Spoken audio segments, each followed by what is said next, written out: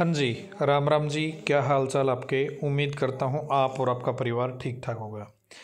H S S C E T का exam हुआ था पाँच और छः नवंबर को। अभी तीन दिन पहले रिज़ल्ट आया है। आप सभी को ये पता चल गया कि आपके नंबर कितने हैं और आपको ये पता चल गया कि कितने लोगों ने क्वालिफाई किया है, कितने लोगों ने डिसक्वालीफाई किया है।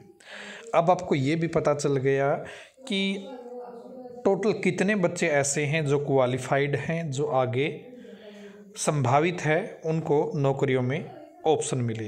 लेकिन आपको ये नहीं पता कि आप क्वालिफाई होने के बावजूद भी आपके पास और अन्य सभी डाटा है, लेकिन आपको ये नहीं पता कि आपका पटवारी में यदि आपने फॉर्म भर दिया तो आपका एडमिट कार्ड आएगा, नहीं आएगा। आपने पुलिस के लिए अप्लाई तो कर दिया, आपका एडमिट कार्ड आएगा, नहीं आएगा, आपको नहीं पता। आपने ग्राम सचिव के लिए अप्लाई तो कर दिया, लेकिन आपको नहीं पता चलेगा कि आपका एडमिट कार्ड एग्ज़ाम के लिए आएगा या नहीं आएगा। तो यही समस्या आपको अब आने वाली है। किसी के यदि आज सत्तर नंबर है क्वालिफाई कर रखा है। पता है क्वालिफाई हो गया, लेकिन उसने एक्साइज इंस्पेक्टर के लिए अप्लाई तो कर दिया। लेकिन उसको ये यकीन नहीं है कि उसका एडमिट कार्ड आएगा, नहीं आएगा, क्योंकि समस्या ये है कि फॉर्म सभी के भरवाए जाएँगे, जितने भी लोग क्वालिफाइड होंगे। एडमिट कार्ड केवल उसी का आएगा, जो चार गुणा में टॉप चार गुणा में लिस्ट में आएगा। तो यहाँ पर इस समस्या का समाधान क्या है? क्वालिफाई नहीं सर कि जिन बच्चों ने क्वालिफाई कर लिया, जिनके पास योग्यता है और जिनके पास भर्ती की योग्यता है कि भाई ग्राम सचिव की भर्ती आपकी ग्रेजुएशन बेस पे है, ये योग्यता है और साथ में उसकी सी ई टी क्वालिफाई उसने कर लिया, ये योग्यता है तो वो अगला एग्ज़ाम दे पाई सरकार यदि ऐसा कर दे तो हर बच्चा अपने आप को सिक्योर समझेगा इस मामले में कि हाँ मैं कम से कम एक नेक्स्ट एग्ज़ाम में जो भर्ती का रियल एग्ज़ाम है, उसमें फ़ाइट कर पाऊँगा। लेकिन सरकार ने अभी तक ऐसा नहीं किया है। स्टूडेंट ने मिलकर बहुत बार प्रयास किया है, लेकिन वो रिजल्टफुल नहीं हो रहा है।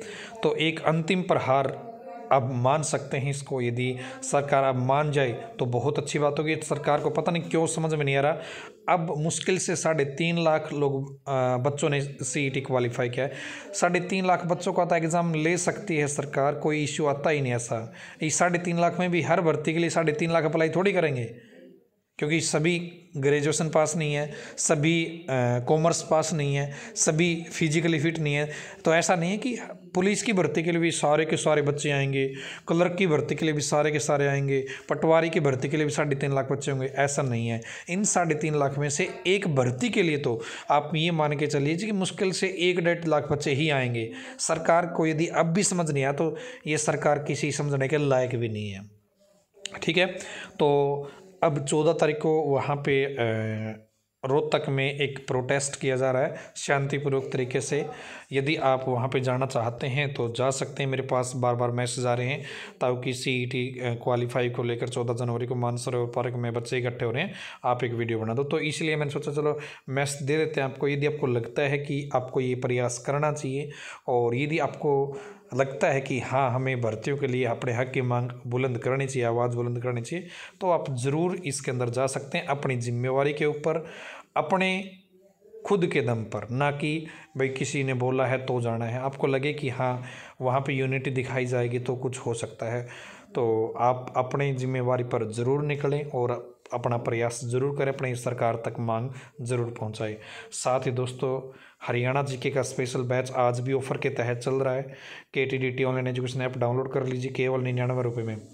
ऑफ़र 12 जनवरी तक का था, लेकिन बहुत सारे बच्चों ने मैसेज किया कि था, हम, हमारी पेमेंट फेल्ड हो रही थी कल तो इसलिए उन्होंने आज बैच लेना है तो डिस्काउंट दे दीजिए। तो आज भी ये डिस्काउंट के अंदर चल रहा है। ठीक है, आप ज्वाइन कर सकते हैं और ग्रुप डी का कंप्लीट बैच आपको मात्र नौ सौ निन्यानवे रुपये में। सभी सब्जेक्ट है इसके अंदर और जनवरी तीस तक इसमें कंप्लीट सिलेबस हो जाएगा। आपका दिल करे तो आप के डी टी ऐप पर विज़िट कर सकते हैं। धन्यवाद।